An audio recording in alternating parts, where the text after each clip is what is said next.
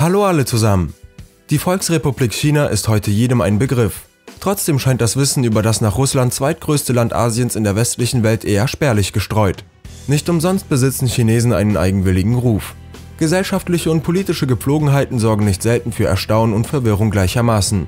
Vitale und mächtige Dynastien prägten die kulturelle Entwicklung und teils fremdartig wirkender Verhaltensregeln.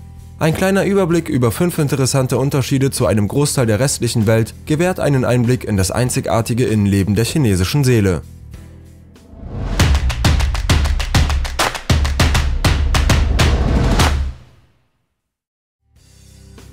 Bevölkerungsreichstes Land China galt bereits zur Jahrtausendwende als der bevölkerungsreichste Staat in der Welt. Mit einer Anzahl von 1,3 Milliarden Bürgern ist er Rekordhalter und führte zu einer Reihe kurioser, aber auch notwendiger Entscheidungen auf politischer Ebene. Um eine massenhafte Explosion der Bevölkerung zu unterbinden, durften Paare nur ein Kind zeugen. Ausnahmeregeln für ethnische Minderheiten oder Partner ohne Geschwister lockerten nach und nach dieses Instrument zur Wachstumskontrolle auf. Im Jahr 2015 ließ die Regierung offiziell die Sperre fallen. Seitdem dürfen ohne Ausnahmegenehmigung gleich zwei Kinder ein Ehepaar beglücken.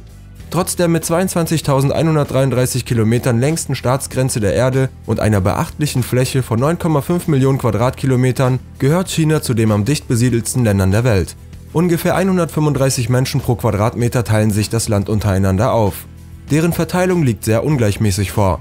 Während die Küstenregionen im Osten Chinas mehr als 400 Bewohner pro Quadratkilometer aufweisen, halbiert sich im Herzen der Volksrepublik deren Anzahl. Im Westen herrscht dagegen regelrechte Trostlosigkeit und Ödnis. Nur 10 Menschen auf einen Quadratkilometer haben sich dort angesiedelt. Toiletten in China Chinesen sind hart im Nehmen. Lange Zeit sorgten sie bei Besuchern aus anderen Regionen der Welt für Nasenrümpfen. Grund dafür war ihr laxer Umgang mit der Toilettenhygiene. Der große Umbruch begann mit der Austragung der Olympischen Spiele 2008 auf chinesischem Hoheitsgebiet. Der neue Trend führte zur Ernennung offizieller Beauftragter für die Inspektion und den Ausbau von Toiletten. Allerdings gilt diese Entwicklung noch lange nicht als abgeschlossen. Attraktive Touristenmagneten haben längst umgerüstet, während vor allem in provinziellen Gebieten der Geruch der Vergangenheit immer noch allgegenwärtig in der Luft liegt. Stellvertretend für den chinesischen Archetyp an Klosen Stehtoiletten. In der Hocke verrichten Besucher darauf ihr Geschäft und das meist ohne Sichtschutz zu den direkten Nachbarn. Vor allem für westliche Touristen mit ihren auffälligen Unterschieden gegenüber der einheimischen Bevölkerung kann dies recht schnell unangenehm wirken. Auch Papier zum Entfernen von Kotresten und Seife zum Händewaschen sind eher eine Rarität. Besucher müssen diese wichtigen Utensilien selbst mitbringen. Ausnahmen bilden Touristikzentren, die Reisenden aus aller Welt die klassische Kloschüssel in vertrauter Umgebung anbieten. Partnermangel und Heiratsanzeigen. Eine weitere Folge der Ein-Kind-Politik. China leidet an einem eklatanten Frauenmangel. Dieser Missstand macht das weibliche Geschlecht äußerst begehrt. Verzweifelte Männer bemühen sich aufgrund fehlender Gelegenheiten zum Kennenlernen eines Partners per Heiratsanzeige um ihre zukünftige Frau. Eltern einer Tochter nutzen diesen Notstand zu ihrem Vorteil und verlangen für eine Vermählung im Schnitt bis zu 1400 Euro als Mitgift. Abhängig von der Region schwanken die Preise erheblich. Außerdem falschen Männer mit regelmäßigem Einkommen den Besitz von Immobilien und Autos um die Gunst der hohlen Weiblichkeit, meist nur mit mäßigem Erfolg. Rein mathematisch lässt sich das Problem im klassischen Eheverbund kaum lösen. Der Überschuss an 33 Millionen Männern führt automatisch zu einer großen Anzahl an Verlierern in diesem Geschäft. Dennoch hat das Ungleichgewicht auch Nachteile für die Frauen. Erfolgreiche Karrieretypen gelten als verpönt, da dem Mann die Aufgabe des Unterhaltes zukommt. Dieser Widerspruch feuert die Schieflage daher zusätzlich an. Schönheitsideal auf chinesische Art. Der Wunsch nach Schönheit und Ansehen hat seit jeher das Auftreten des Menschen geprägt stehen in westlichen Breitengraden aktuell eher der sportliche und gebräunte Typ hoch im Kurs, zeigen sich vor allem Chinesinnen von einer anderen Seite. Bleiche Haut gilt hier als Markenzeichen vornehmer Herkunft und des Wohlstandes.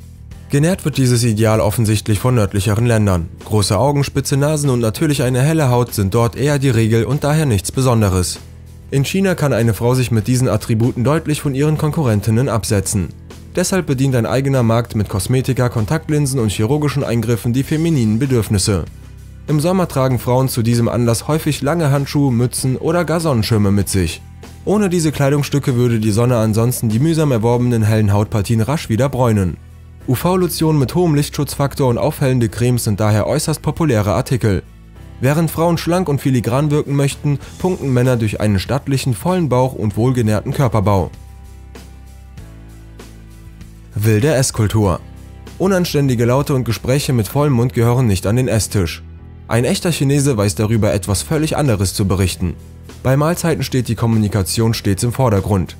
Laute Äußerungen und hallendes Lachen stellen nur die Speerspitzen dar. Auch eher unappetitlich erscheinende Geräusche wie Schmatzen oder Aufstoßen gehören hier zum guten Ton untrennbar dazu. Gäste stehen häufig im Fokus besonderer Aufmerksamkeit und erhalten deshalb die besten Stücke. Leere Teller sind nicht gerne gesehen, da ansonsten der Eindruck einer mangelnden Versorgung erweckt würde. Zwar halten auch internationale Tischmanieren vermehrt in der Gastronomie großer Metropolen Einzug, doch das genussvolle Schlürfen von Suppen bleibt davon unangetastet. Typisch für die Esskultur ist der Gebrauch traditioneller Stäbchen zur Nahrungsaufnahme. Schneuzen am Tisch gilt übrigens als äußerst unhöflich und stellt ein Tabu dar. Runde drehbare Tischplatten sind in China mit einer klaren Sitzverteilung zwischen Gastgeber, Verwandtschaft und Gästen weit verbreitet. Sogar Saufgelage und das Ausspucken von zehn Resten am Esstisch fallen unter den Verhaltenskodex. Prinzipiell scheint fast alles erlaubt zu sein, was in westlichen Regionen als unangenehm empfunden wird. Das war's auch schon wieder für heute. Vielen Dank fürs Zuschauen. Falls euch das Video gefallen hat, zeigt es gerne mit einem Daumen nach oben. Und um nie wieder neue Videos zu verpassen, klickt auf Abonnieren und wir sehen uns bald wieder.